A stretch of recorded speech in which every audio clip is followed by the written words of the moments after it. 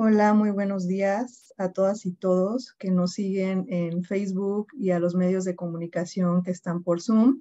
Mi nombre es Paulina Magaña y soy coordinadora de la campaña de salud alimentaria en el Poder del Consumidor y el día de hoy estaré moderando este foro llamado Captura de los Profesionales de la Salud, el caso de las fórmulas infantiles comerciales.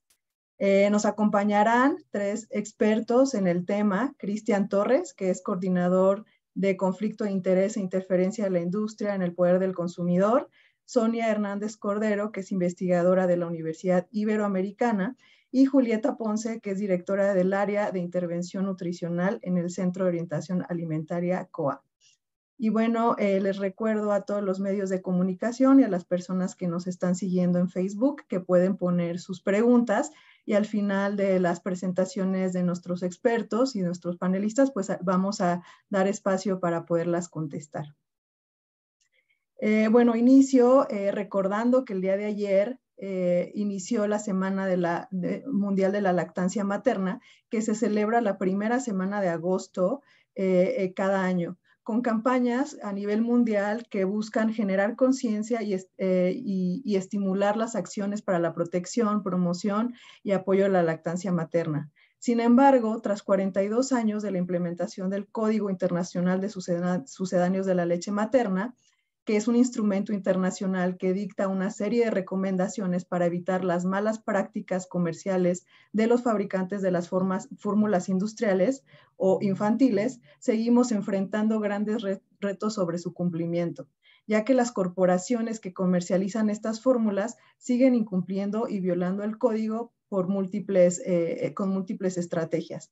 Entre las más comunes se encuentran la promoción y publicidad a los padres de familia en diferentes medios. Sin embargo, esta publicidad y promoción también captura a los y las profesionales de la salud de múltiples formas. Estos profesionales de la salud que están en contacto directo con los padres y madres y que son muy cercanos a ellos y ellas. En el foro del día de hoy vamos a ver eh, cómo las corporaciones logran permear en los profesionales de la salud eh, principalmente mediante algunos espacios académicos. Y bueno, para entrar en el tema y darle paso a que nuestros expertos nos, compartan sobre los temas que están trabajando, me gustaría darle la voz a Cristian Torres, eh, quien nos presentará un monitoreo que realizó eh, sobre el patrocinio de congresos y espacios académicos por estas industrias fabricantes de fórmulas comerciales infantiles. Cristian es licenciado en nutrición, maestro en ciencia, eh, maestro en salud pública y cuenta con un diplomado en comunicación política estratégica. Actualmente se desempeña como coordinador de conflicto de interés e interferencia de la industria en el poder del consumidor y ha participado y trabajado con varias investigaciones relacionadas con determinantes comerciales de la salud, acción política corporativa y análisis de actores clave. Entonces vamos a pasar con Cristian. Cristian, adelante para que nos, nos platique sobre este monitoreo. Muchísimas gracias, Pau. Eh, muchas gracias por la, por la introducción y también agradezco a nuestras colegas, la doctora Sonia Hernández y la maestra Julieta Ponce, que nos van a estar acompañando en este, en este webinar. Bueno, eh, como ya mencionó eh, mi compañera y eh, colega Paulina, pues voy a estar hablando sobre la captura corporativa de los profesionales de la salud en México a través de las corporaciones de fórmulas eh, infantiles. este, este, este webinar se enmarca en la Semana Mundial de la Lactancia Materna. Hagamos que la lactancia y el trabajo funcionen. Si bien es importante resaltar los beneficios para el binomio madre, madre-hijo de la lactancia materna, también es importante eh, resaltar eh, todos los obstáculos o, varios obstáculos a los que se enfrentan eh, las madres o cuidadoras para eh, dar lactancia materna. Una de ellas, pues, es la interferencia de la industria que ha sido como documentada a través de los años, no solamente en México, sino a nivel global, que ha sido uno de los principales obstáculos a los que se enfrentan eh, las políticas y los programas que van eh, a favor de la lactancia materna. Y en este, en este sentido, me gustaría empezar eh, diciendo que este año se publicó la serie Lancet sobre determinantes comerciales de la salud. ¿Y por qué hago hincapié en este tema? Porque los determinantes comerciales de la salud eh, se han definido como todos los sistemas, todas las prácticas y todas las vías de las cuales los actores comerciales impulsan la salud y la equidad. Es importante resaltar que se ha asociado que el consumo de ultraprocesados, alcohol, tabaco y combustibles fósiles están son atribuidos a un tercio de las muertes a nivel global. Sin embargo, esta, la serie Lancet eh, pues no, no descarta y no quita la responsabilidad también a una industria en particular, que es la industria de las fórmulas infantiles comerciales, pues las cuales también son responsables de malnutrición, enfermedades infecciosas, mortalidad, entre otras eh, enfermedades. Y es que eh, a través de múltiples prácticas de, de las fórmulas infantiles comerciales, eh, cómo son las donaciones de, muestras de fórmulas y alimentos para bebés, o una publicidad agresiva en medios digitales, o la utilización de influencers y celebridades, el financiamiento de instituciones eh, académicas e investigaciones, eh, dar muestras y regalos, y el acercamiento directo con, las, con las madres o las cuidadoras. también otorgar incentivos a personal de salud para promover sus productos, patrocinio de eventos que van dirigidos a personal de salud. Y bueno, no descartamos también las estrategias de, cabildeo, las estrategias legales, eh, las estrategias de supuesta responsabilidad social.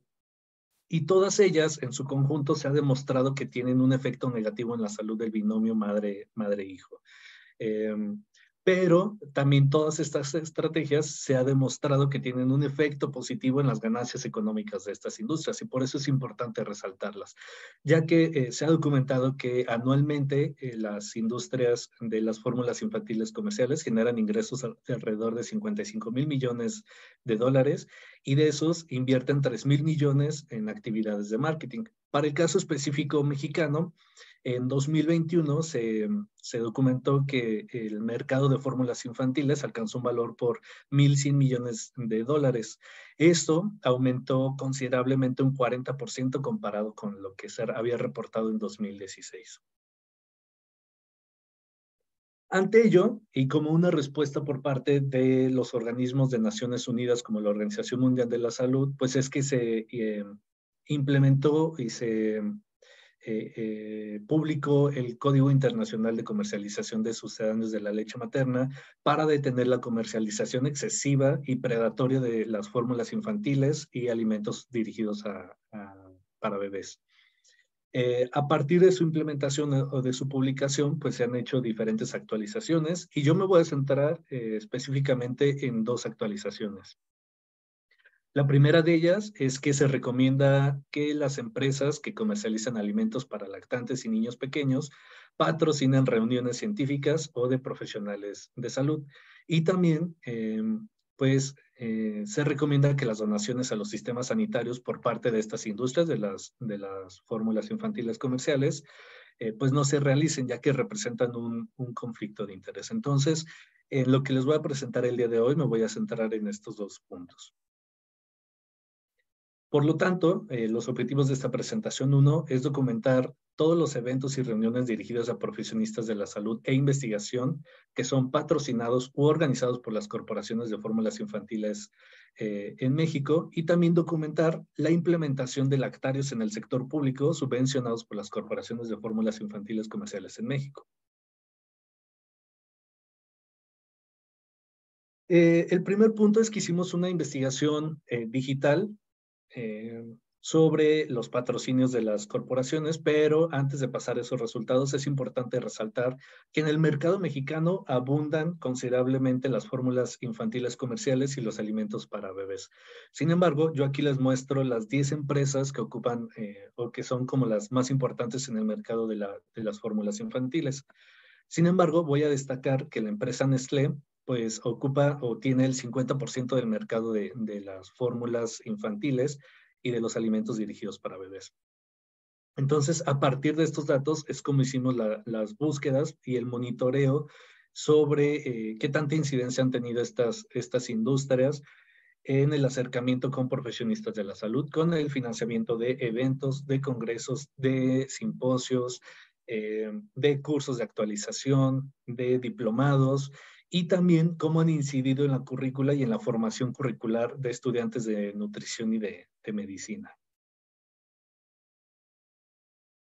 A partir de, la búsqueda digital que, realizamos, pues identificamos por lo menos 117 eventos dirigidos a 43 grupos de profesionistas de la salud e investigación en los cuales pues, las corporaciones de fórmulas infantiles comerciales han patrocinado, han, auspiciado o han participado en un periodo del 2010 al 2023. Aquí les pongo unos ejemplos de algunas de las, de las instituciones en las que han sido permeadas por estas, por estas corporaciones. Y debo resaltar que estos 43 grupos de profesionistas de la salud se han, se han caracterizado porque son asociaciones de pediatras, de médicos, de nutrición, eh, colegios de nutrición, eh, de especialistas de alguna otra rama de la medicina, eh, institución, institutos nacionales, hospitales nacionales de pediatría, de perinatología, grupos, grupos de sociedad civil, de lactancia materna, este, federaciones y colegios de, nutrición en México, pero también ha llegado como otras instituciones como las universidades, incidiendo en las, sobre todo, no solamente en patrocinando sus eventos o congresos, sino también incidiendo en la currícula de, y en la formación de, sus estudiantes de medicina y de nutrición. Y en algunos otros casos es que también han eh, han implementado cursos en, dentro de las universidades eh, para capacitar al trabajo a distintos profesionistas de la salud y después que se integren a trabajar a, las diferentes eh, corporaciones. Estos son algunos ejemplos de, congresos, ya sea en la primera fotografía, que pueden eh, auspiciar o que pueden ser, que pueden celebrar por ejemplo, en, el caso de Nestlé, pues ofreció y ha ofrecido diferentes congresos a la comunidad médica, pero también eh, patrocinan eh, diferentes congresos de nutrición, de medicina o de cualquier otra especialidad en la rama médica o inclusive de otros, de otros profesionistas de la salud como es la enfermería. También hemos visto que crean sus propios simposios o crean sus propios cursos de actualización, sus propios eh, congresos eh, dentro del marco de la Semana Mundial de la, Lactancia Materna o como cursos de actualización en lactancia materna, en alimentación materno-infantil. Y una de las cosas a las que se han, migrado es al tema, al tema digital. En este caso les eh, pongo un ejemplo de aquí de Sanulac, de Club Gold de Alula Gold, eh, donde invitan a profesionistas, sobre todo eh, de la medicina, a entrar a este, a este club, al Club Gold, para recibir cursos, talleres y actualizaciones en materia de pediatría, de nutrición infantil, nutrición materna eh, y lactancia materna. Entonces, por supuesto que todos estos incurren en violaciones al Código Internacional de Comercialización de Sustancias de la Leche, de la leche materna.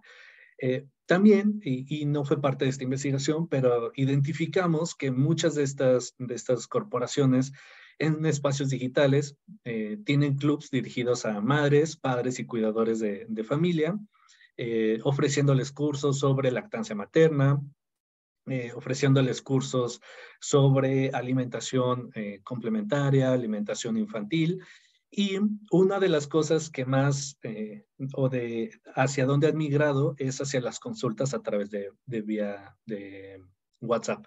Y les voy a proyectar un video, va a ser un video muy cortito para que veamos de lo que, de lo que se trata. Eh, ¿Me podrían ayudar a proyectarlo, por favor?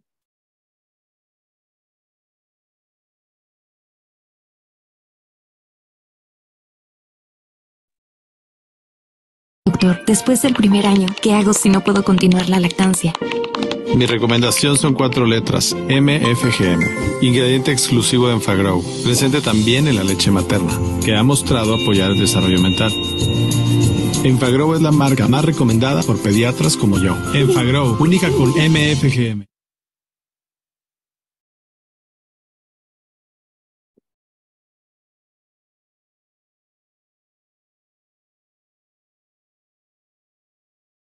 Muchísimas gracias.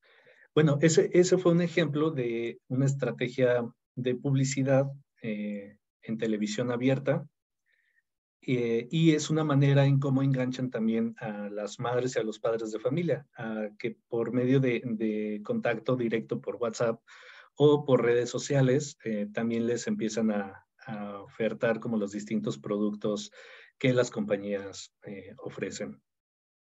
Otra de las, de las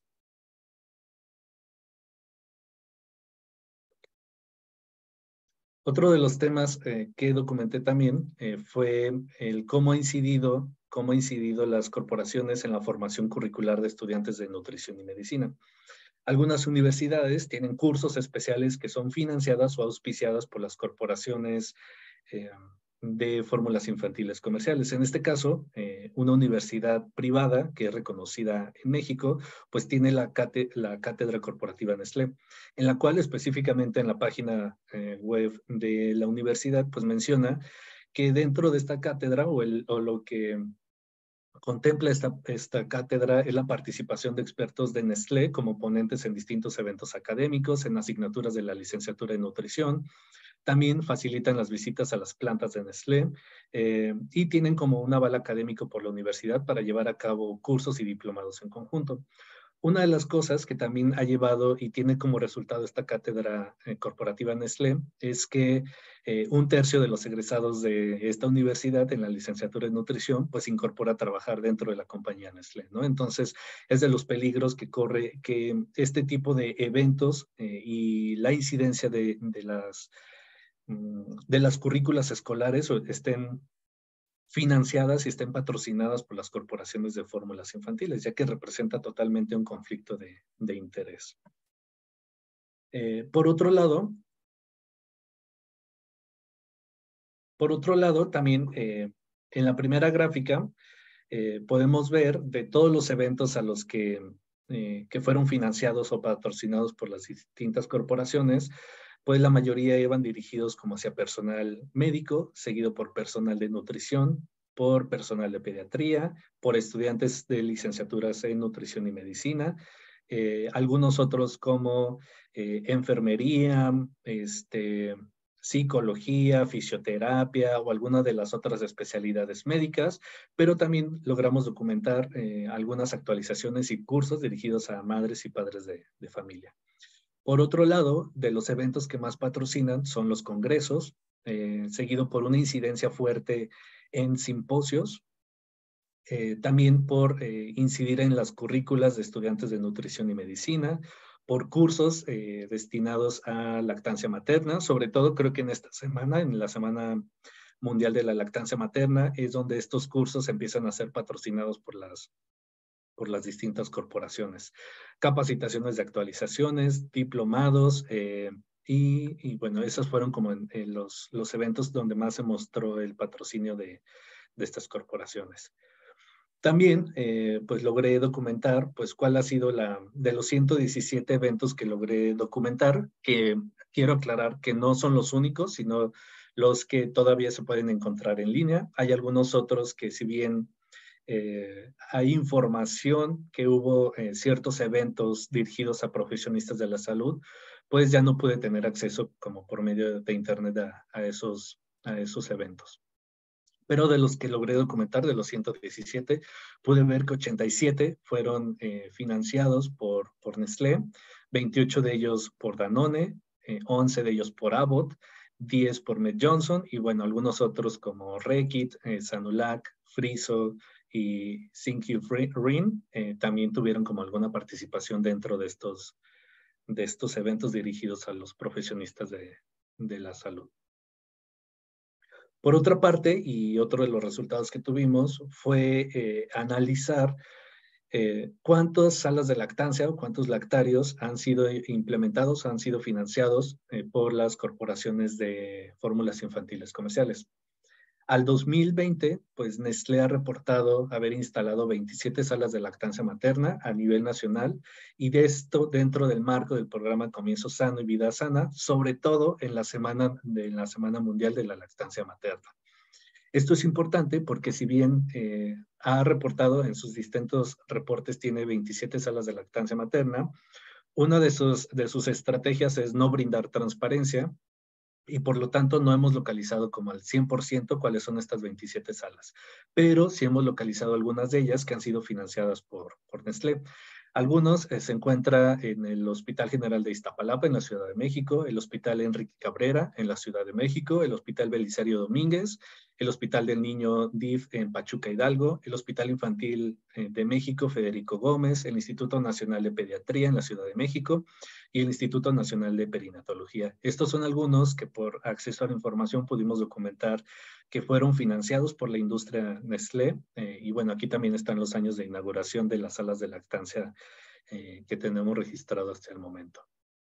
Pero también por medios periodísticos hemos documentado algunos otras salas de lactancia que han sido financiados por Nestlé, eh, algunos con algunas universidades. Por ejemplo, este es un ejemplo de, la Universidad Marista y un convenio que tuvo con Nestlé y que no nada más resultó en el, en el lactario de, la Universidad Marista en, Mérida, Yucatán, sino que también incide en la currícula y en la formación de esta universidad, en los estudiantes y en los estudiantes de nutrición de, esta universidad.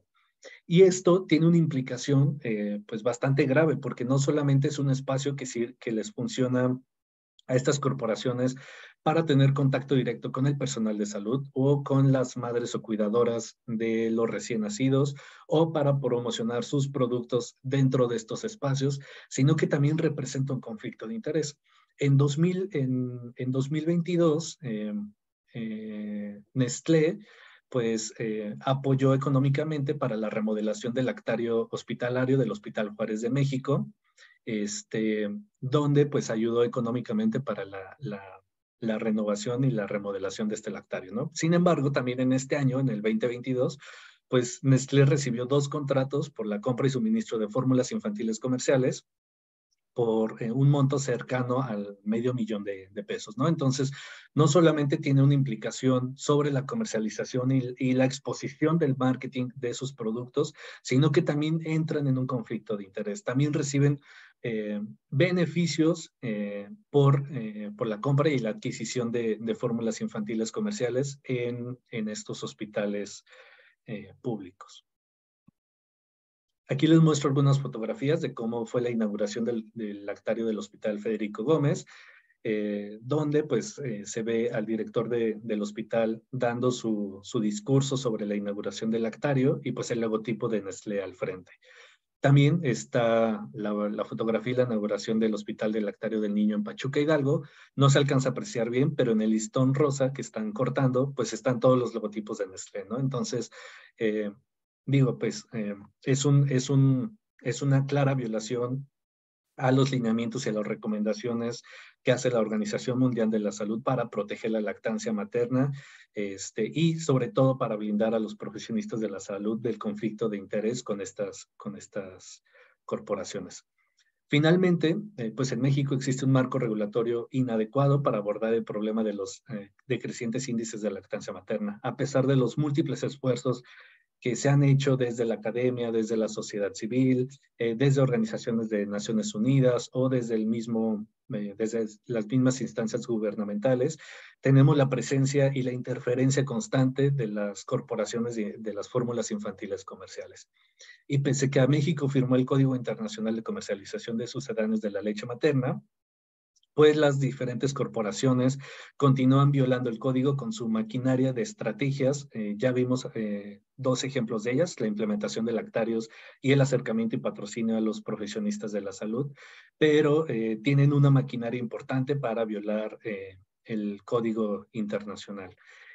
También se ha evidenciado que el personal de salud, en específico el personal médico y de pediatría, son los profesionistas que más recomiendan el consumo de fórmulas infantiles comerciales en México por lo que es importante que el Código Internacional de Sucedáneos de la Leche Materna se adopte como una ley, se, sea vinculante y existan sanciones a estas corporaciones por eh, infringir y por violar eh, las diferentes recomendaciones del Código Internacional de Comercialización. Muchísimas gracias.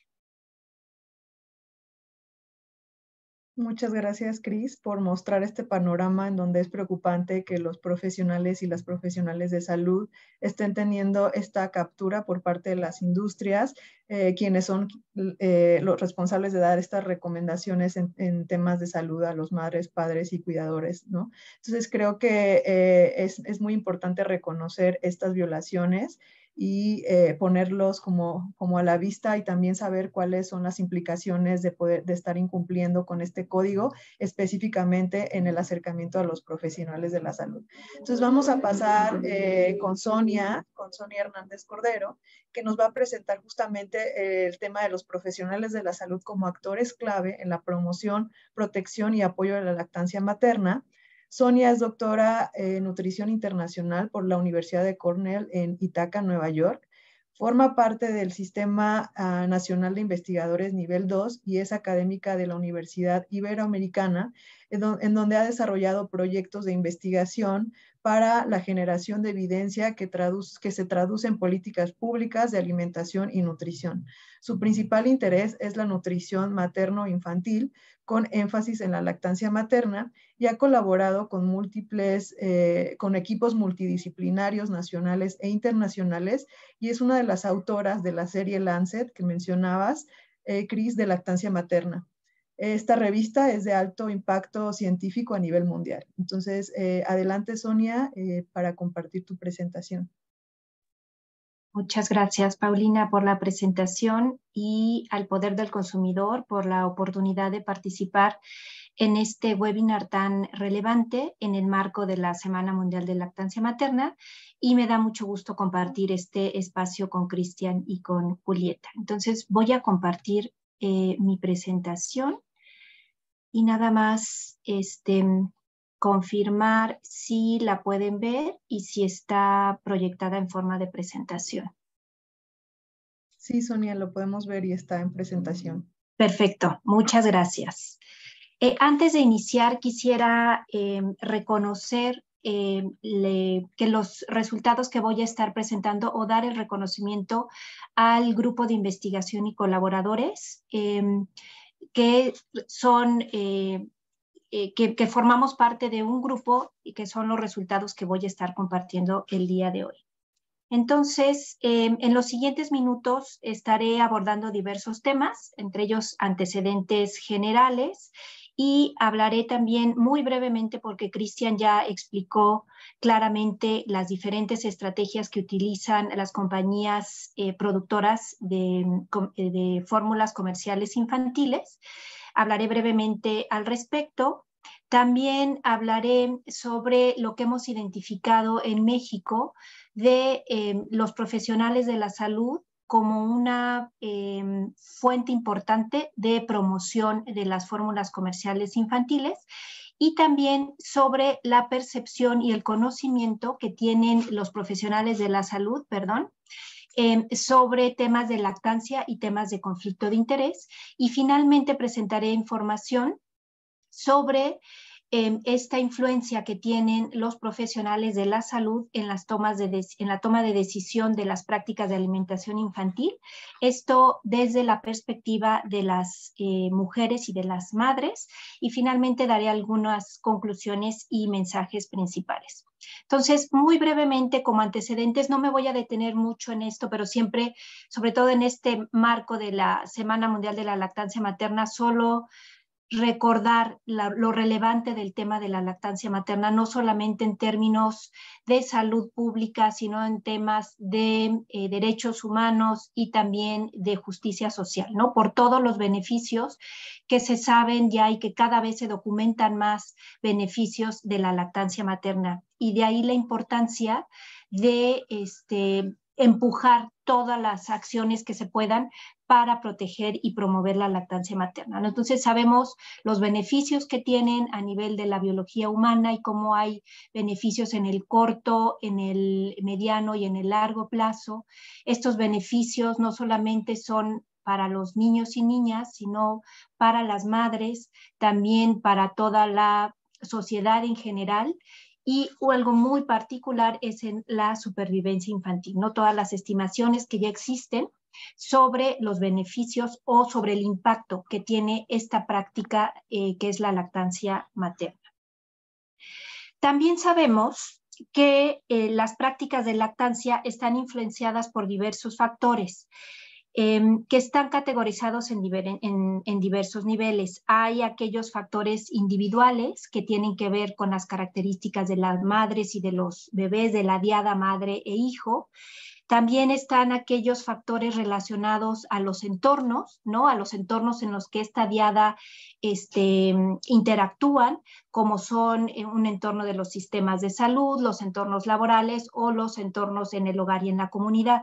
Y están aquellos factores estructurales que son los que les estoy mostrando en esta diapositiva y son los que me voy a detener un poco, un poco más. Y sobre todo en este que está aquí, que es este factor estructural de las estrategias de las que hablaba Cristian hace un momento, de las empresas productoras de fórmulas comerciales infantiles y cómo una de estas estrategias para comercializar sus productos incluye esta influencia o este financiamiento a los profesionales de la salud, perdón, a los investigadores y a las eh, sociedades académicas para promocionar sus productos. Y bueno, esto ya eh, lo documentó y lo explicó muy bien eh, Cristian en su presentación. Otros antecedentes importantes, antes de eh, presentarles eh, lo que traigo preparado, es em, cómo las estrategias de comercialización de fórmulas comerciales infantiles han sido ya em, estudiadas desde hace algunos años y evidencia reciente describe claramente cómo este marketing de las fórmulas infantiles tiene influencia en nuestras creencias, en nuestros valores y también en nuestras prácticas. El marketing ha cambiado de una forma negativa el ecosistema de la alimentación infantil. Creo que estamos en un punto que em, empezamos a entender em, estas formas o estas estrategias que utiliza la industria productora de fórmulas comerciales infantiles. Sin embargo, todavía no es totalmente claro cómo estas, em, para toda la población en general, para los profesionales de la salud, ni para los tomadores de decisión, cómo todas estas estrategias están influyendo y están dentro de un sistema que está favoreciendo la venta y el consumo de estos, de estos productos. También cada vez existe más evidencia sobre cómo la comercialización de las fórmulas comerciales infantiles afectan de forma negativa las prácticas de lactancia y también sabemos eh, cómo eh, existen grupos que son más vulnerables a estas estrategias. Y un ejemplo claro son las mujeres embarazadas y las madres de niños pequeños, lo que puede poner en riesgo su derecho a la libre elección informada. Eh, muy brevemente, eh, sabemos eh, las diferentes formas en las que las fórmulas comerciales infantiles son promocionadas, ¿no? están aquellas que son de forma directa, que tiene que ver con aquellas estrategias a través de los medios de comunicación, los tradicionales y ahora cada vez más utilizados los medios digitales y los medios impresos. O bien también están las estrategias que de forma indirecta, que son vía las promociones de compra en las que se da un incentivo por la compra de algún producto o se da una muestra o se da un otro producto gratis. Promociones también a través de puntos de venta, ya sea físicos o en línea, que cada vez se están utilizando más. O bien em, a través de em, el cabildeo directamente con los tomadores de decisión, para moldear las políticas implementadas en un país, favoreciendo a los intereses de las compañías productoras de eh, las fórmulas comerciales infantiles, o bien a través de los servicios y profesionales de la salud, que ya dio ejemplos claros Cristian, y es el tema que estamos abordando el día de hoy. Entonces, a continuación, les presentaré los resultados de diversos estudios que hemos eh, realizado en la Universidad Iberoamericana sobre em, varios aspectos relacionados al, código. Los diferentes estudios que se han hecho, si bien han abordado el tema en general del cumplimiento o las violaciones al Código Internacional de Comercialización de Sucedáneos de la Leche Materna, que ya describió, también Cristian, em, abordamos también temas relacionados, obviamente porque son parte del código, a los servicios y a los profesionales de la salud. Algunos de estos estudios que estaré presentando el día de hoy ya están publicados y que pueden consultar en extenso este, estos, estas publicaciones y resultados.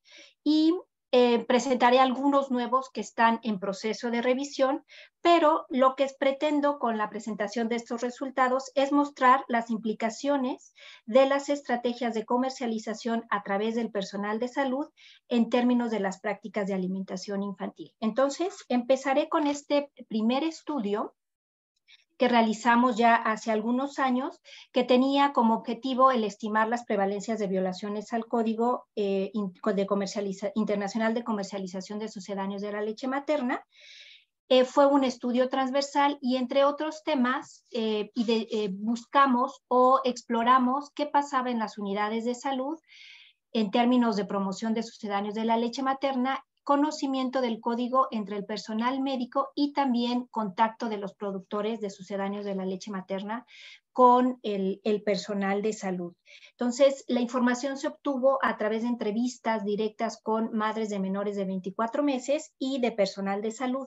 Y cabe resaltar que un poco más del 60% de este personal de salud que entrevistamos eran personal médico, eh, eran médicos y enfermeras principalmente. Entonces, en, esta eh, diapositiva se muestran los resultados relacionados a los profesionales de la salud y entre las mujeres que entrevistamos, 46% eh, de ellas informaron que habían recibido recomendación de uso de sucedáneos de la leche materna incluyendo aquí las fórmulas comerciales infantiles. Al explorar con más detalle quién había dado dicha recomendación, que es lo que se muestra en esta gráfica que estoy em, señalando, em, habían este, preguntamos quién había dado esa recomendación y un mayor porcentaje de ellas recordó a un profesional de la salud, específicamente a un médico, como la fuente de esta eh, recomendación. Por otro lado, en las entrevistas realizadas ya a los profesionales de la salud, se, eh, que, eh, se seleccionó un profesional de la salud de las diferentes unidades de salud que visitamos, que en total fueron 48. Se identificaron que nueve de estos 48 centros visitados, los profesionales de la salud reportaron haber recibido al menos una visita de representantes de compañías productoras y en la mayoría de las ocasiones reportaron que estas visitas fueron reiteradas y en varias ocasiones. También como parte de este estudio, que es, lo que les voy a mostrar en esta gráfica, se exploró el conocimiento entre el personal de salud sobre el código y la legislación nacional para este, eh, proteger a las mujeres y sus familias de la comercialización de sucedáneos de la leche materna. Y como pueden ver, se identificó que solamente un 41% y un, y un 56% respectivamente reportaron que los conocían. Em, entre las, en resumen de este estudio, las mujeres entrevistadas reportaron haber recibido recomendaciones de uso de sucedáneos de la leche materna en los últimos seis meses al momento de la entrevista por personal de salud, principalmente por un médico, y un gran porcentaje del personal de salud o de los profesionales de la salud no conoce el código ni las medidas para su implementación en el país y reportaron también visitas o el contacto de las compañías productoras de fórmulas comerciales infantiles, que se relaciona o va en la misma dirección de los resultados que compartió Cristian también hace un momento. El segundo estudio eh, que quiero eh, mostrarles los, resultados es de un estudio em, eh, multicéntrico de la Organización Mundial de la Salud, que les platicaré este, muy brevemente en qué consistió el estudio.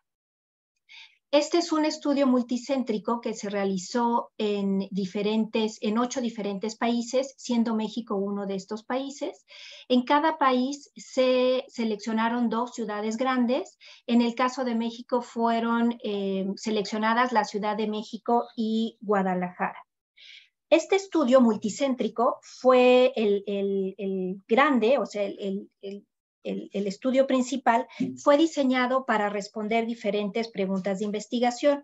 Entre ellas eran cuál es el panorama de la comercialización de sucedáneos de la leche materna en los diferentes países, la perspectiva de los profesionales de la salud o de los profesionales de la salud sobre la comercialización de estos productos. Y una tercera pregunta fue cuál es la actitud de las mujeres sobre la comercialización de las fórmulas comerciales infantiles. Em, como se podrán imaginar, fue un estudio muy grande que utilizó diversas estrategias eh, metodológicas Em, por fines de tiempo me voy a enfocar únicamente de los resultados que voy a presentar, son los resultados en México y los resultados de em, la metodología utilizada, eh, la metodología cualitativa utilizando grupos focales con mujeres, también eh, las entrevistas o encuestas que se hicieron a mujeres con una metodología más cuantitativa y lo referente a los profesionales de la salud. Empezaré con los resultados em, de la exposición a promoción de los sucedáneos de la leche materna, nuevamente enfocándome en los resultados em, de los profesionales de la salud. Entonces, en esta diapositiva se muestra cómo las mujeres están expuestas a diversas eh, fuentes de promoción de sucedáneos de la leche materna, siendo una muy importante la recomendación de uso. Cuando se exploró cuáles eran las principales fuentes de uso, vemos que tanto las recomendaciones de uso de sucedáneos de la leche materna que provienen de profesionales de la salud y de nutriólogos corresponde a un casi 38% y un 7% respectivamente. También no hay que ignorar esta componente importante de la recomendación por parte de familiares y amigos. Exploramos también la asociación que existía entre em, la recomendación de uso de sucedáneos de la leche materna y em, el uso de, estos productos. Y como pueden ver en esta diapositiva, el que la recomendación de uso de los sucedáneos de la leche materna provinieran de un, em, particularmente del doctor o de un pediatra aumentaba significativamente el riesgo de uso de estos productos como una forma de alimentación de los, de los niños eh, pequeños. Ahora eh, les presentaré, este es un nuevo, un análisis reciente que recién enviamos para, a consideración para su, eh, publicación sobre em, las, la percepción, creencias y conocimiento de los profesionales de la salud sobre las fórmulas comerciales infantiles y también en este mismo análisis eh, consideramos la percepción de parte de las mujeres este, en términos de eh, las recomendaciones que estaban recibiendo por parte de los profesionales de la salud. Este fue principalmente un análisis cualitativo que utilizamos principalmente el modelo socioecológico como el modelo teórico para el análisis e, e interpretación de la información. Entonces, em, estas últimas diapositivas que, van a ver de, resultados tendrán el mismo formato. Tendrán aquí el tema eh, que identificamos cuando estábamos haciendo el análisis y de este lado algunos ejemplos de citas que sustentan estos temas que nosotros identificamos en el análisis. Entonces, el primer tema identificado es sobre la percepción de los profesionales de la salud. Y aquí me gustaría resaltar que los, eh, el tipo de profesionales de la salud que se entrevistaron para este estudio fueron pediatras, neonatólogos, ginecólogos y enfermeras. Fueron las de las que se capturó la, la información. Entonces, el primer tema es que eh, la percepción de los profesionales de la salud sobre la lactancia y las fórmulas comerciales infantiles. Se identificó que los profesionales de la salud en su discurso reconocen la importancia de la lactancia y se perciben como promotores de la lactancia. Sin embargo, ya en la práctica existe una contradicción, ya que mencionan que existen dos principales para ellos, de, acuerdo a lo que ellos em, reportaron, ¿Por qué ellos recomiendan el uso de fórmulas comerciales infantiles? Y el primero, la primera razón, es porque consideran que la leche materna no es suficiente para cumplir con las recomendaciones eh, nutricionales de los niños pequeños. O bien, por otro lado, algo recurrente que mencionaban es porque las madres no están dispuestas a esforzarse para poder lactar o no están interesadas en lactar. Y es por ello que recomienda el uso de, los, de las fórmulas comerciales infantiles.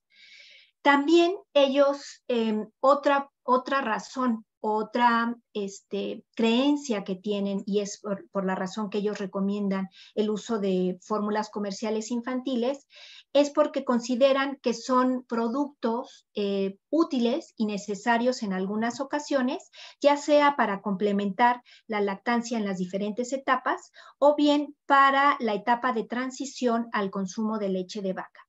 Estos resultados lo que muestran es em, la falta también de capacitación del personal de salud en temas de lactancia y también eh, falta de capacitación eh, relacionadas a habilidades para poder apoyar a las madres con la lactancia o en etapas en las que ellas tienen dudas de qué hacer cuando tienen alguna dificultad en términos de lactancia materna. Otro de los temas que se identificaron en, este análisis es que a pesar de la normatividad vigente, los profesionales de la salud reciben em, visitas o tienen un contacto con eh, las compañías productoras de sucedáneos de la leche materna. Y de aquí me gustaría resaltar dos aspectos muy importantes. Uno es esta este, pues, violación a la normatividad vigente sigue siendo una práctica común, de acuerdo a lo reportado por los profesionales de la salud que nosotros entrevistamos o que se entrevistaron para este estudio. Y el otro es que entre los profesionales de la salud, este contacto tan directo o, cercano con las compañías productoras em, de fórmulas comerciales infantiles, no es algo que pueda comprometer su quehacer profesional, es decir, no lo identifican como un potencial conflicto de interés en, en, en su práctica profesional, que es algo muy relevante y que urge eh, atender. Finalmente, en el análisis que hicimos, como les había comentado, quisimos también explorar, bueno, qué percibían las madres o cómo estaban recibiendo las madres estas recomendaciones de parte de los profesionales de la salud.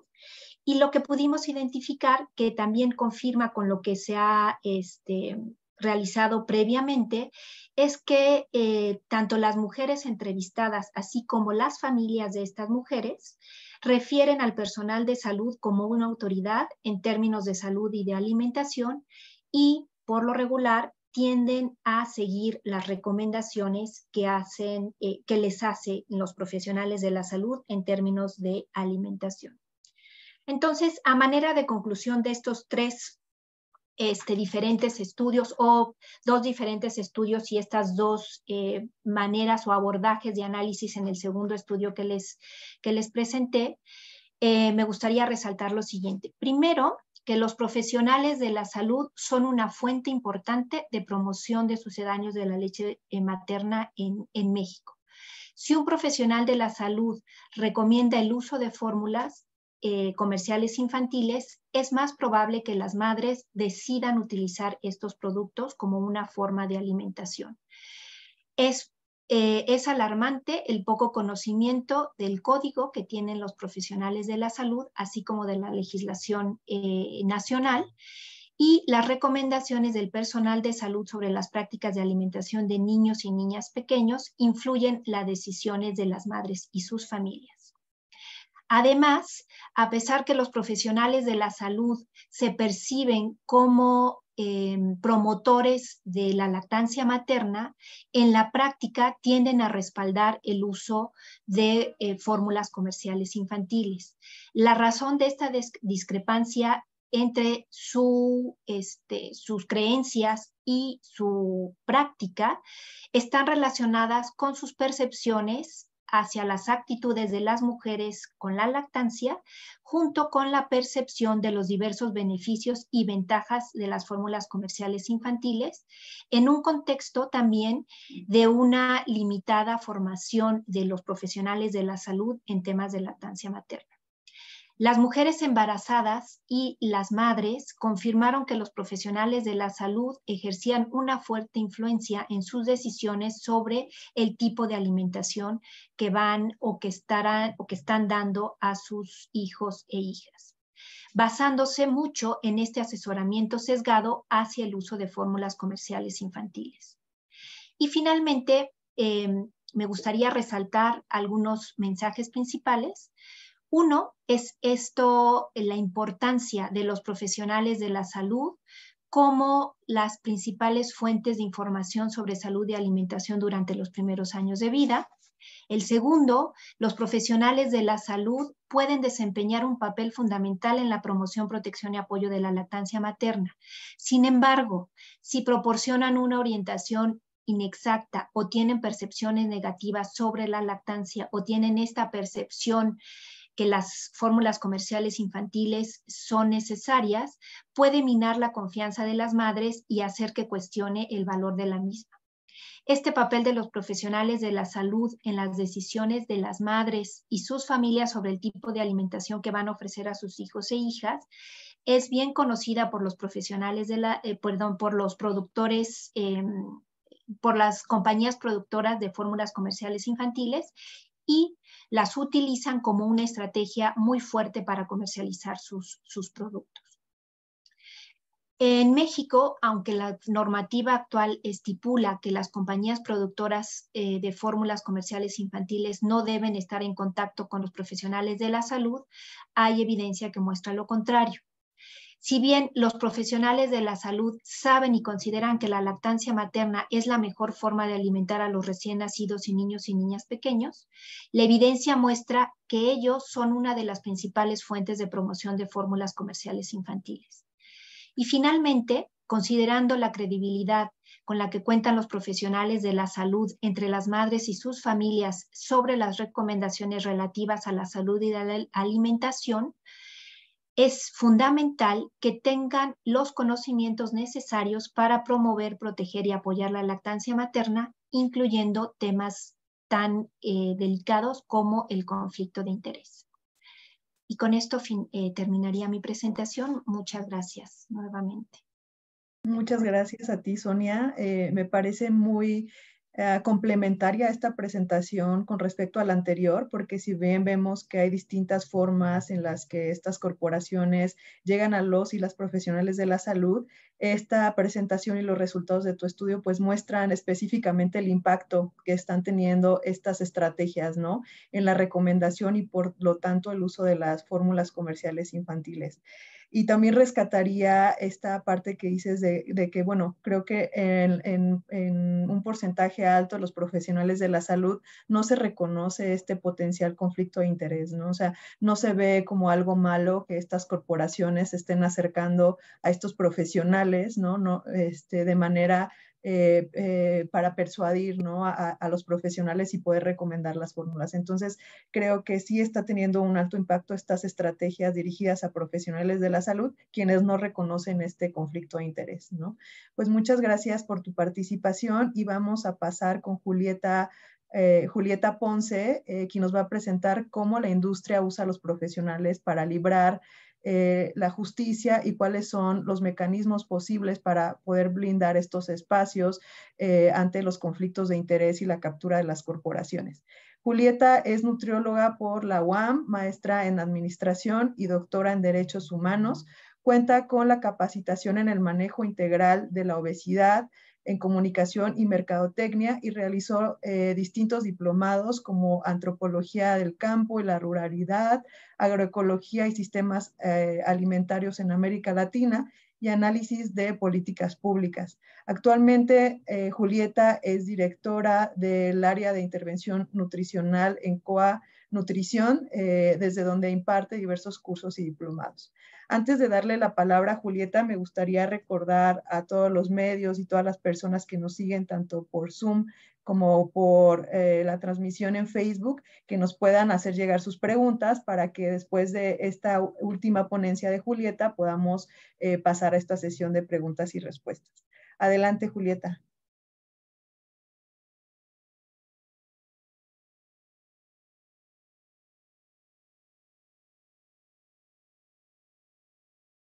Muchas gracias, Paulina, compañeras, compañeros eh, que están aquí. Bueno, yo expreso que no tengo ningún conflicto de interés porque no tengo ningún, ningún problema en dar mi opinión imparcial y objetiva en esta presentación.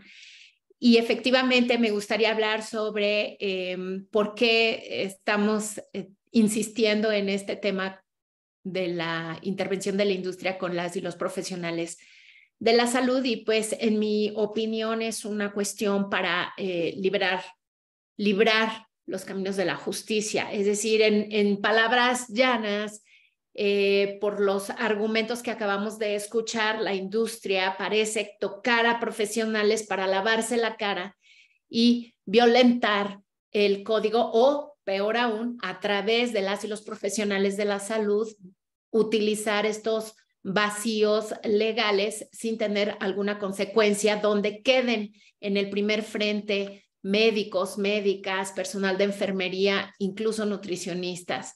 Y esto es lo grave. El reconocimiento social y político del derecho a ofrecer y recibir lactancia materna implica un reconocimiento del derecho humano donde hay personas que son sujetas de este derecho, titulares, estamos hablando de las madres, eh, mujeres madres, sus criaturas, incluso las familias, quienes serían las y los titulares de este derecho y por otro lado tenemos a las representantes del gobierno como los obligados y obligadas a que esto se haga realidad. En términos de actuales del derecho, tenemos que decir que hoy se reconoce que también los entes particulares incurren en violaciones al derecho y van a tener consecuencias eh, en caso de existir alguna queja. En términos generales, podemos decir que el derecho a ofrecer y recibir lactancia tiene este contenido. Primero debe existir la disponibilidad para ofrecer y recibir amamantamiento sin discriminación y la accesibilidad a todos los medios para lograrla. Resalté esta parte del derecho porque justo es la intervención de la industria lo que está vulnerando del derecho. Impide el acceso a los medios para lograrlo al capturar y utilizar al personal de salud como sus promotores eh, principales de eh, uso de fórmulas infantiles antes, antes y por encima de la opinión personal y la decisión de ejercer el derecho de las madres.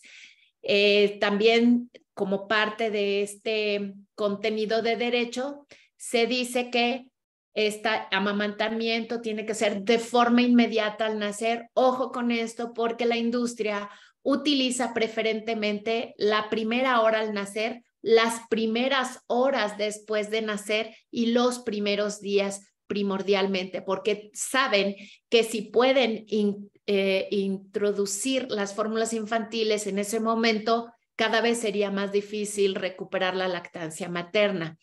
Eh, de forma exclusiva, como ya lo sabemos, durante los primeros seis meses y de forma continuada hasta los dos años o más vale la pena aquí reconocer cómo el Código Internacional de, Comercialización de estos sucedáneos eh, de leche materna está hablando de una población a proteger de 0 a 3 años. Todos los eh, alimentos que estén dirigidos a, esta población, todos los eh, sustitutos o sucedáneos de leche materna y, todos los utensilios como biberones, tetinas, botellas eh, que estén orientadas a población de 0 a 3 años también quedan aquí. Y esto tendría que ser la lactancia materna y sus em, estrategias de forma aceptable para las condiciones de cada persona, de cada familia y que nadie tenga que renunciar a ningún otro derecho para amamantar. Ya se mencionaron algunos derechos, por ejemplo, el derecho a la información, que también tiene que ver eh, con este tema. Entonces, ¿qué es lo que está sucediendo? Que las implicaciones de un derecho humano, del reconocimiento de un derecho humano en un país como México y en otros de América Latina, va mucho más allá que el código porque el código hasta el momento ha sido vulnerado a diestra y siniestra sin ninguna consecuencia porque tenemos unos mecanismos sumamente débiles, por un lado, para eh, la exigencia y para la denuncia, Por otro lado, también tenemos una cultura muy baja de la queja y que esto podría ser un impulso. Entonces, ante un marco de derechos humanos se hace transversal, se dice entonces que eh, implica a todas las autoridades de todos los niveles su vigilancia, su protección y el ejercicio de este derecho también se hace de forma transversal para todas las personas. Eh, reconocer también que cuando inicia o, cuando tenemos un neoderecho como es la lactancia materna, estamos reconociendo que hay una desigualdad y que hay un problema y que se tiene que reconocer un derecho humano para disminuir las desigualdades gracias a que pueden frenar el abuso del poder. Por eso nace un derecho, para que se limite y que se proteja a las personas del abuso del poder hasta el momento ha eh, empezado a cambiar el lenguaje, porque para la industria de fórmulas infantiles, la leche materna es la, es, es la competencia, los bebés y las bebés son consumidores, las madres son clientes, los profesionales de la salud son su red de mercadeo perfectamente diseñado en sus espacios de opinión médica, las leyes y el derecho son barreras para la comercialización de sus productos, las organizaciones sociales somos una amenaza para el mercado y la comercialización de estas fórmulas. Las y los estudiantes son un segmento del mercado y una oportunidad para abrirse y así van ampliando este lenguaje. Por eso hay eh, un abuso de este poder. Entonces, ¿qué papel juega el código? El código en este momento sería un instrumento que eh, puede proteger, garantizar y ayudar a exigir el derecho a la lactancia materna. No es el único, pero como es preexistente, entonces el código se convertiría en un instrumento para eh, el ejercicio de la lactancia materna. En términos de derechos, se ha encontrado que hay dos poderes fácticos que están por encima incluso de la opinión de las madres. Y como los niños y las niñas no pueden opinar, eh, tenemos que ejercer estas estrategias para, porque no pueden autotutelarse su derecho. Entonces, se reconocen estas dos fuerzas en contra eh, de la opinión de las madres y en contra del amamantamiento. Una es el mercado voraz y la otra es la opinión médica abusiva. Entonces, por un lado. En segundo lugar, es muy apetitoso para la industria de las fórmulas infantiles capturar a profesionales de la salud. ¿Por qué? Porque tienen el 80%, de, el 80 de impacto en la población al momento que nacen.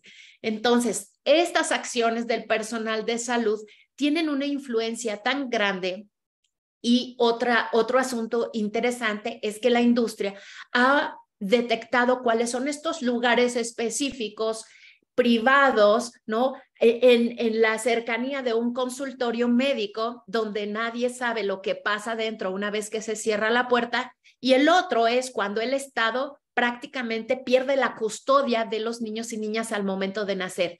La madre está en una, en una situación vulnerable donde no cuenta con un, eh, quien pueda ayudarle a proteger sus derechos, como puede ser su familia, algunos otros personales de salud, sino que en estos espacios donde se nace, dentro de un hospital, es ahí donde la industria ha eh, intentado meter sus tentáculos.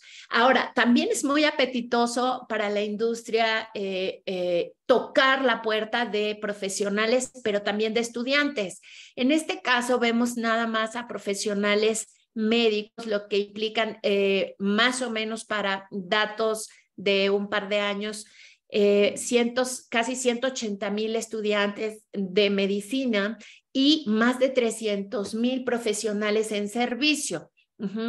En el caso de enfermería, tenemos una, unas eh, aulas de 200 mil personas estudiando enfermería y más de 600 mil eh, dedicadas a ya sea en espacios de hospitalarios, clínicos, eh, de contacto directo.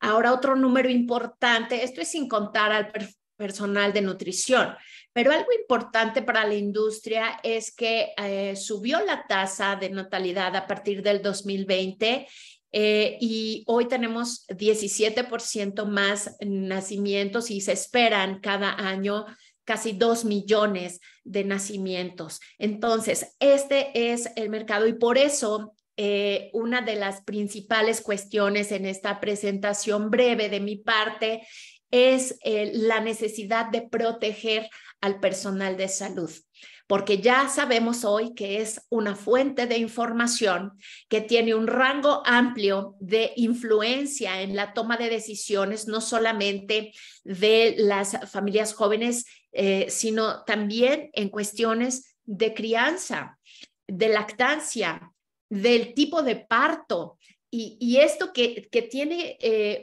que está imbrincado con el derecho eh, de las mujeres a decidir sobre su cuerpo y de la importancia que sería proteger y cuidar al personal de salud. ¿Por qué? Fíjense cómo eh, en este círculo donde tenemos al binomio y en este momento que le llamamos el momento de verdad, donde están piel a piel, cuerpo con cuerpo, es ahí donde la industria ha intentado meterse, pero como es imposible meterse de manera franca, entonces utiliza al personal de salud para poder eh, penetrar en estos espacios privados a través de, entre comillas, el conocimiento en un lugar estratégico que son los hospitales, donde ocurren, por supuesto, prácticamente la mayoría de los nacimientos y en un tiempo estratégico para eh, eh, la vida completa de una persona, que es antes, durante y después del parto. Básicamente, estos momentos son cruciales, claro, tanto para el amamantamiento y lograrlo en las mejores condiciones, como para bloquearlo. Entonces, esto es lo que la industria está intentando y yo quiero hacer énfasis en esta presentación sobre la urgencia de blindar los espacios académicos. Sí, si bien eh, nuestra legislación es eh, hasta el momento débil, ¿no? Eh, perfectible, también sabemos que hay una fuerza como ya vimos, en los espacios académicos, no solamente en las universidades, las aulas, congresos y cualquier espacio de ejercicio profesional donde en conjunto se puede hacer una fuerza para eh, oponer eh, y, ocupar el espacio que es debido para la protección integral de la vida y no sobrepasar los intereses comerciales y sobreponerlos por encima de los derechos humanos y de las decisiones de las personas. Esta, eh, este blindaje, eh, pues es un camino que se tiene que iniciar, principalmente nuestras recomendaciones capacitación, por supuesto, a estudiantes y profesionales. ¿En qué términos? En términos del código. El código que es realmente el ABC con el que se puede iniciar eh, es, es necesario. Entonces, también otro tema que es importante incluir en este momento para profesionales de la salud es la dimensión de la lactancia materna como un derecho humano. Estos anteojos que permiten poner a las personas al centro, interpretar de otra manera las leyes y la ciencia para ponerla a los pies de la vida, esto es lo que se requiere en este momento y sin duda el tema de conflicto de interés. Por otro lado, la denuncia, promover la denuncia para que las y los profesionales de la salud, así como estudiantes, tengan mecanismos claros de queja, este botón rojo donde en las universidades hace falta poner un espacio de eh, denuncia, denuncia eh, de violación al código, porque va penetrando, eh, como ya dijimos, a través de incluso profesores, profesoras, investigadores, también eh, trabajos de científicos patrocinados, eh, probablemente sesgados, y que hay oídos sordos a quien se quiera quejar. Incluso ha habido profesionales de la salud que han querido salirse de las asociaciones médicas o de algunos espacios pagados y son discriminados por el grupo mismo de profesionales de, la salud. Por otro lado, la declaración mm, pública y además necesaria, transversal de conflictos de interés por parte de docentes, investigadores, expositores y que esto sea cada vez una regla y una exigencia por parte de las audiencias, que para eso son los derechos, no solamente eh, para que se cumplan, sino para que se exijan. Y ahí es donde nos parece que en esta parte de la denuncia es donde requerimos una nueva cultura de la queja. Así es como se hacen fuertes las leyes y los reglamentos. Ah, eh, pedimos también esta declaración eh, por todos lados. Y algo que nos parece sensible es la innovación en las estrategias de divulgación científica. Pareciera mentira que entre las universidades no, no hay otra manera de hacer un congreso si no es a costillas del dinero de la industria y de la industria farmacéutica, que se hace millonaria a costillas de la salud y en este círculo vicioso se pierde entonces la visión de cuál es el papel de quienes eh, debemos ejercer eh, la profesión del cuidado y atención a la salud. De verdad, no hay otras eh, estrategias donde no podamos depender de la industria. Aquí es donde se requiere la creatividad para saber de qué otra manera los eventos académicos podrían estar eh, totalmente blindados de esta mano negra de la industria porque es seductora, ¿no? Porque los regalos, porque los premios y los eh, colores bonitos, eh, quizás sea el momento definitivamente de cambiar desde el corazón de las universidades y en las asociaciones médicas de enfermería y de nutrición hacer otro tipo de divulgación científica. Esto ya lo sabemos, pero solo por si alguien se ha perdido qué es lo que implica el código, impide y, prohíbe la publicidad de estas eh, fórmulas. Ahora, la publicidad. El código no impide la venta. El código lo único que dice es que existan para que cuando se requieran se utilicen de la forma más adecuada. Es lo mismo que el derecho a la lactancia materna. No, no impiden que haya fórmulas. Lo que impiden es su publicidad, su promoción, que no se den muestras, que no se den eh, eh, ofertas, que no haya contacto con el personal eh, eh, del personal de las industrias con eh, en los hospitales, en los centros de salud, que no haya distribución de este material, ni libros, ni folletos, que no se pongan los logos de las compañías, que no se den regalos a trabajadores de la salud, ni las muestras gratuitas, las tampoco se deben eh, promover las fotos de bebés ni otras imágenes que idealicen, como lo vimos en el ejemplo del video, ¿no? Eh, cuatro letras para idealizar algo que se parece o que casi, casi es mejor que la lactancia materna. Eso está prohibido. La exhibición de estos carteles eh, de cualquier producto orientado a bebés y eh, los términos leche maternizada o humanizada, esto tampoco está permitido y tampoco la publicidad al público por ningún medio, ni ofertas, ni descuentos. Entonces, es la cultura de la denuncia y es la protección y blindaje a las y los profesionales, así como los espacios académicos. Muchas gracias. Muchas gracias a ti, Julieta, por tu presentación y como muy bien, eh, igual que las otras presentaciones, pones esta, ah, como este contexto en donde los profesionales y las profesionales de la salud, eh, incluyendo también estudiantes, pues son el blanco, ¿no? De estas, eh, de estas corporaciones para para incrementar las ventas de sus productos y, también cómo señalas estas posibles soluciones, ¿no? Este blindaje que es tan importante, ¿no? dentro de estos espacios académicos y, bueno, la capacitación en el tema del código, como, como se mencionaba anteriormente en la presentación de Sonia, pues hay una falta de reconocimiento de este conflicto de interés y creo que incorporar este tema del código en las capacitaciones es fundamental, ¿no? Y también poder transparentar cuando los cursos, cuando las, cuando las materias en estas universidades, pues tengan de fondo estas, esta participación de las corporaciones.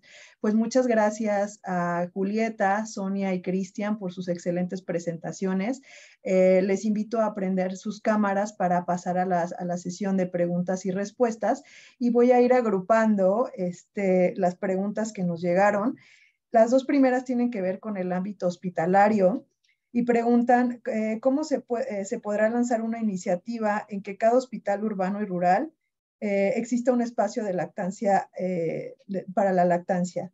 Y la segunda pregunta es, eh, ¿se puede demandar a un hospital que brinda fórmulas lácteas a un lactante sin el consentimiento de los padres? Entonces, eh, no sé si alguien quiera tomar la palabra, tal vez Julieta, y si Sonia y Cristian también quieren complementar. Tenemos algunas otras preguntas, este, entonces podemos ir dando la voz. Sin duda, se puede denunciar si alguien, eh, una madre siente que se ha vulnerado su derecho y que le ofrecieron fórmulas a su bebé sin su consentimiento y sin ninguna justificación médica. Lo primero que se recomienda es que vaya con el jefe o jefa directo del lugar eh, tiene que estar, eh, tienen que estar informados. Si es un hospital público, bueno, incluso también en hospitales privados, y no hay respuesta de las autoridades, pueden acudir directamente a la Comisión Nacional de los Derechos Humanos. Recordar que las denuncias no son anónimas. O sea, las denuncias sí tienen, eh, eh, tienen que hacerse de nombre y apellido. Eh, hay otro camino que podría ser el de la COFEPRIS, sin embargo, pues es un camino tortuoso y con poca o muy baja respuesta. Ahora, si van a la COFEPRIS sería solamente una queja para violación del código, pero si van a la Comisión de los Derechos Humanos sí se puede directamente una queja en contra de su derecho al amamantamiento. Muchas gracias, Julieta, por esta información. Justamente una de las preguntas también decía cómo se pueden denunciar estas prácticas y creo que lo acabas de comentar ahorita en este espacio. Tengo dos preguntas más, quizá una puede ser dirigida para Cris y otra para Sonia. Entonces voy a dirigir una específicamente que tiene que ver como con todo este monitoreo que hizo Cris y eh, preguntan si las corporaciones llegan a patrocinar los congresos por medio de estas asociaciones de profesionales de la salud, ¿hay alguna forma de que estas asociaciones no incurran en vínculos con estas empresas? Tanto Sonia como Cris, si quieren contestar esta. gracias, Pau. Bueno, lo ideal es que, eh, que estas asociaciones, estos grupos de profesionistas o de universidades, pues no aceptaran en primera instancia el patrocinio de, de estas corporaciones, ¿no? Dado que es una violación clara al, al Código Internacional de Comercialización de Sucedáneos de la Leche Materna. Creo que eh, en, hay, hay como ejemplos como muy claros de, de congresos, de grupos de profesionistas de la nutrición eh, y de la salud en específico, donde son libres de conflicto de interés. Un caso más reciente, pues, es la Sociedad Latinoamericana de Nutrición, que a partir del 2017 eh, se, se instauró como un comité de conflicto de interés y se decidió no aceptar patrocinio ni por parte de las, de las fórmulas infantiles comerciales, ni de ultraprocesados, bebidas azucaradas. Entonces, creo que, claro, hay, hay ejemplos, eh, pero la primera instancia más bien es que estas asociaciones sean conscientes de que al recibir estos patrocinios también están incurriendo en conflicto de, de interés y están incurriendo en las violaciones al, al Código de Comercialización de Sucedáneos de la Leche Materna. Gracias, Cris. Pues qué bueno que mencionas este ejemplo, ¿no? Porque justamente un espacio académico como los congresos, pues es para ir a, a, a, tomar todo este conocimiento que no tenga esta intervención, ¿no? De las industrias. No sé, Sonia, si quieras complementar algo en esta respuesta. No, creo que Cristian lo, lo, definió muy bien y nada más resaltaría esta, esta parte de la importancia de contar con lineamientos, ¿no? De conflicto de interés en todas las asociaciones este, profesionales dentro de las universidades también, o sea, en, en los programas, este, para evitar y concientizar y sensibilizar a todos los miembros de estas organizaciones, ¿no? Gracias, Sonia. Sí, claro que este, este tema de los lineamientos creo que son esenciales en cualquier ámbito, incluyendo el académico, como lo acaban de mencionar, pero también en otras instancias, ¿no? De gobierno, en donde pueda haber este espacio y esta oportunidad de conflicto de interés. Me parece fundamental resaltarlo y qué bueno que lo mencionas. Y por último, quizá esta es una pregunta que pudieran aportar este, los tres o, quien guste de los tres, eh, con respecto a qué faltaría para evitar el incumplimiento al código, ¿no? Si se habla que todavía hay este tipo de violaciones, ¿qué es lo que falta en México para, eh, pues, eh, ponerlo como un derecho, como lo menciona Julieta, y también hacer como instrumentar este código y, evitar el incumplimiento? ¿Puedo, ¿Puedo empezar? Nada más. Este, creo que es muy importante. Se ha hecho mucho énfasis, y esto no solamente pasa en México, sino a nivel global, en eh, conseguir que todo lo estipulado en el código esté en la legislación local, ¿no? en las legislaciones locales. Pero algo muy importante que es lo que se ha identificado que, que falta es asegurar que dentro de esa legislación se incluyan mecanismos de monitoreo y de denuncia, como estaba comentando Julieta, eh, y de sanciones que sean significativas también, porque luego son sanciones que para las compañías, eh, comparado con lo que ganan, este, pues realmente no, no implica este, una sanción en sí, ¿no? No, no, no significa nada. Entonces, que se asegure que va a existir todo un sistema que va a asegurar un monitoreo, un este, mecanismos de denuncia claro para la población en general y de sanciones y que sean este, mecanismos que sean transparentes, que la población sepa uno qué hacer, sepa cómo va el proceso y se entere o que se haga público cuando se, se haga alguna sanción para que esto vaya quedado, eh, se vaya documentando, la gente se vaya sensibilizando y como decía Julieta, sea parte de, este, de todo este sistema de denuncia y que tenga el poder para, para esté empoderado para poder hacer las, las denuncias, ¿no? Que ese sería uno. Y la parte de sensibilización e involucrar a la población civil en, en, estos procesos creo que es importante también, ¿no? Este, para que se empoderen y puedan hacer las denuncias correspondientes. Muchas gracias, eh, Sonia. Sí, adelante, Julieta.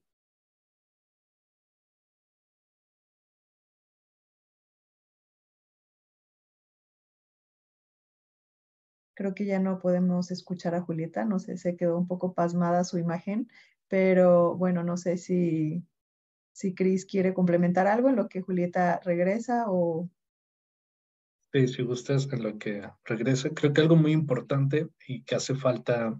Mm, Ahora ya. Ah, regreso. Sí, sí, sí, adelante. Sí, eh, que me parece novedoso el, el, el, mecanismo de queja para profesionales y estudiantes, esto porque hay lugares más específicos que la población abierta. O sea, podríamos pensar que las universidades y los espacios clínicos eh, pueden ser este lugar de, quejas que, pasen, que no es un buzón de quejas, ¿no? Tendrían que tener un espacio, quizá eh, trabajo social o un nuevo espacio para aquello. Eh, la otra cuestión es que la industria, o sea, una vez que empiecen las quejas, porque se me hace un poco injusto estarle pidiendo nada más a la población que se queje o que levante la mano y a los profesionales y a las profesionales que se cuiden y a la industria no encargarle nada, ¿no? Pero lo que sí podemos decir en este momento es que las empresas fabricantes de fórmulas infantiles eh, que vulneren el código podrían ser señaladas como transgresoras del derecho a la lactancia materna una vez que inicien las quejas. Eh, entonces, ya sean las quejas por profesionales o por madres o por familias o incluso por personas defensoras de derechos, incluso de organizaciones. Entonces, ¿cuál es eh, la sanción que se espera en términos de derechos, no? Eh, porque están esperando una sanción económica, como siempre.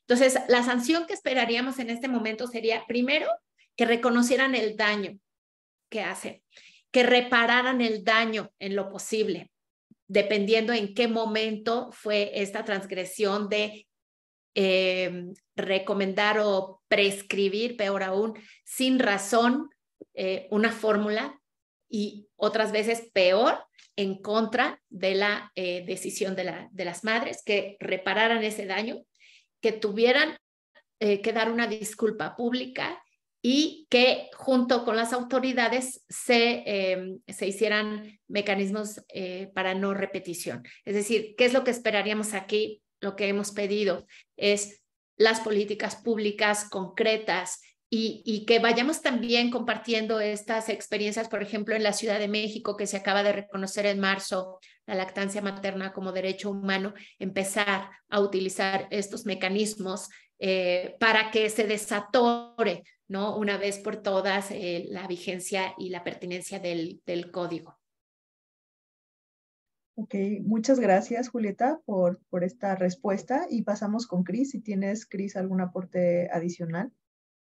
Sí, además de, lo que mencionaron las, las colegas, creo que algo muy importante que se debe de exigir es que las eh, corporaciones sean transparentes porque muchas veces tienen dobles estándares y en países como México y la región de América Latina, pues sus procesos no son transparentes. Entonces, creo que algo que se debe exigir es transparencia en cuánto gastan en publicidad, cuánto gastan en los bufetes de cabildeo, en los bufetes de abogados, en sus procesos eh, de, de fabricación de plásticos, utilización de plásticos, entonces, creo que un elemento esencial eh, debe ser la transparencia por parte de estas industrias. Muchas gracias, Cris. Y bueno, reconocer también que el día de ayer se presentó una iniciativa para la promoción, protección y apoyo a la lactancia materna en Cámara de Diputados. Entonces creo que se necesitan hacer legislaciones, ¿no? Cambiar las leyes, eh, las normas para que todo esto pues se pueda instrumentar. Entonces me parecen eh, pues grandes aportaciones. Tenemos una última pregunta para poder ya cerrar el foro si alguien quiere contestarla. Eh, ¿Cómo impulsar? Nos pregunta Saraí Gutiérrez de su médico, ¿cómo impulsar la lactancia, eh, cómo impulsar la participación de paternidades para, para promover la lactancia materna y retrasar el uso de fórmulas? No sé si alguien quiera contestar.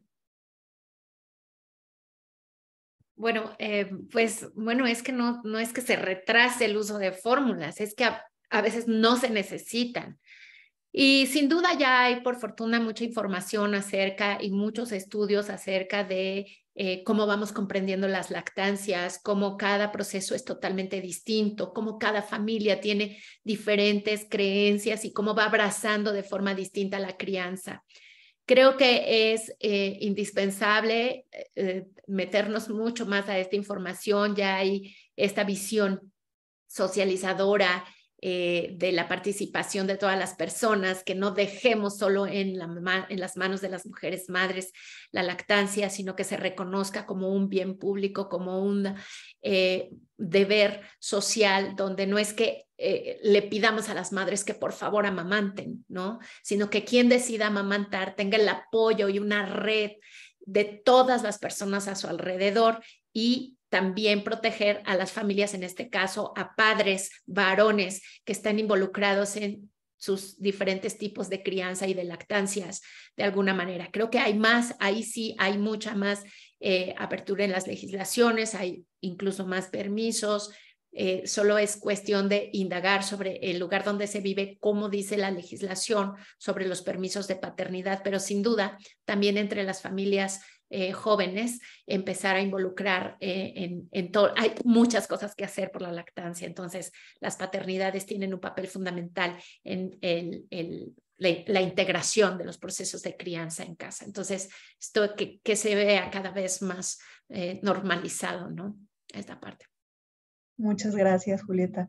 Bueno, si pues, pudiera solamente agregar algo muy rápidamente, que es va solo complementando lo que Julieta explicó muy bien este, es esta parte desde el área de la política pública, lo que se, lo que se buscaría es generar todos estos entornos eh, amigables con la lactancia que faciliten esta decisión o este poder o el derecho de las, de las mujeres, las familias, sea pareja, sea la familia extendida, lo que, lo que sea, para decidir el tipo de alimentación que quiere ofrecer a, los, a sus hijos e hijas, ¿no? Este, estos entornos que realmente, eh, en los que realmente la lactancia materna sea una opción. ¿no? Y que sea una, la primera opción para alimentar a los niños si así lo deciden las familias y las madres.